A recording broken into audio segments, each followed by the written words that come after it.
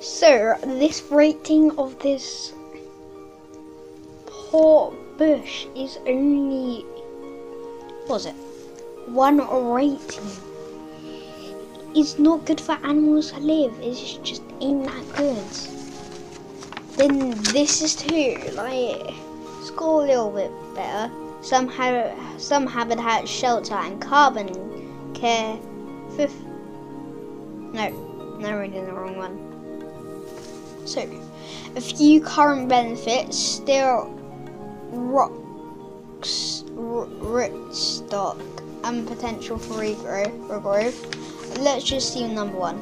Bracken, which needs fa- fa- flailing in re- reflect. Can't read that.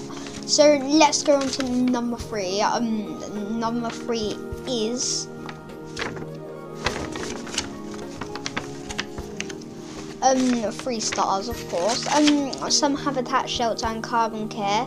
Fifth, 500 millimeters, at least okay for insects and voles. There, so it is three stars. I thought this would be rated um better. Like maybe more like. Just don't think that it should be rated three stars. Okay, number four is good habitat, some shelter and carbon care. One messer at least so nesting covers for birds. Okay, so this is a number of four. I think they should really swap number four and number three.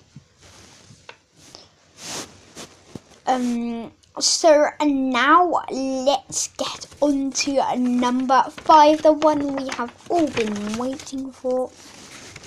Very good habitat, shelter, carbon care, over one meter for nesting, two plus years top growth for winter berries, trees given shade and fuel, a varied habitat and high car- carbon catchers. I agree with this one. Um, number five.